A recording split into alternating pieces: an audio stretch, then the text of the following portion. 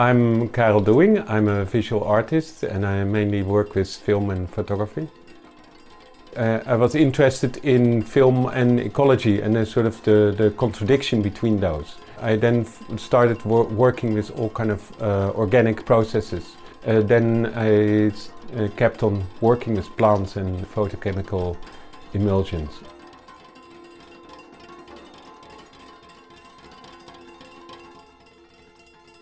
Basically, it's a, it's a camera-less process, as we call it. Like camera-less filmmaking or camera-less photography is kind of a, a, a sort of known ID. Uh, a lot of kind of photographers and filmmakers work with that. Uh, in this case, um, I'm soaking the plants in a very simple solution of uh, different household chemistry and then they release their own chemistry uh, when you bring them in contact with the photographic material. I'm not using industrial products. It's rather something that relates to the pioneers of photography because they didn't have a Kodak factory next to them. They had to kind of mix their own solutions also with things that were available. So I'm very much kind of reeling back and going to that very beginning of photography and sort of analyzing that, kind of taking it apart and putting it uh, together in a, in a slightly different way. I work in a garden, I work in a little nature reserve that's nearby. I work in parks and farms and gardens and, and sort of just uh, sort of wild areas um, or anywhere where you can find plants and that's almost everywhere. And then I, I sort of decided to renovate my, an empty shed in the garden and make that into my lab.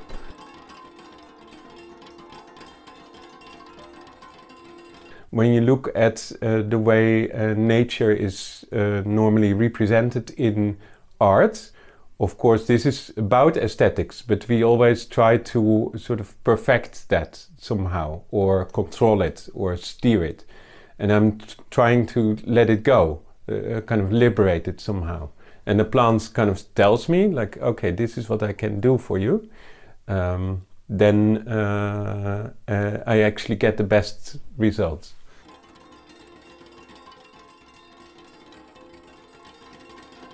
This is a laboratory film, which is also much cheaper than what you would use in a camera.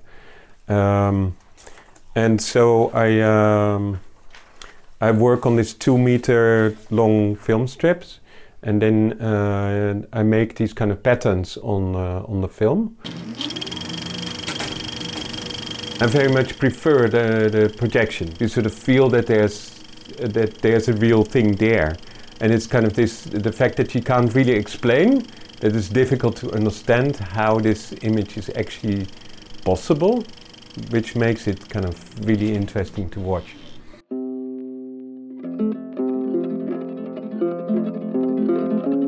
When I came into the lab, I, I very much hoped that uh, I could literally do chemical experiments in the lab.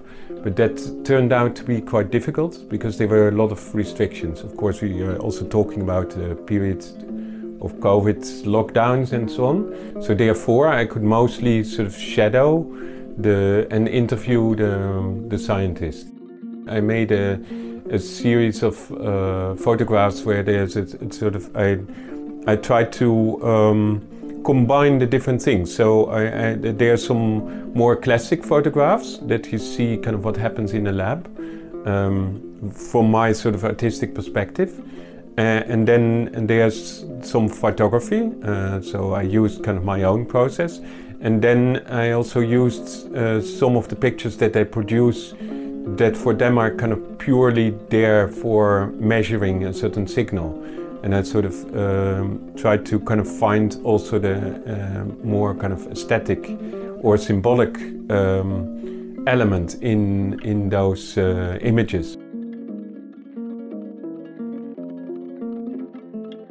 I uh, also wrote an essay uh, for the book that's going to be published.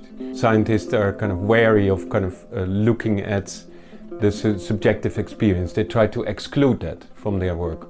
And uh, then again, for me, it was very interesting to see that uh, kind of the images that they produce, which are purely there to measure something, that they also have this, uh, that there's a subjective way that you can look at these as well. So it's about that sort of tension between the two, uh, the two points of view.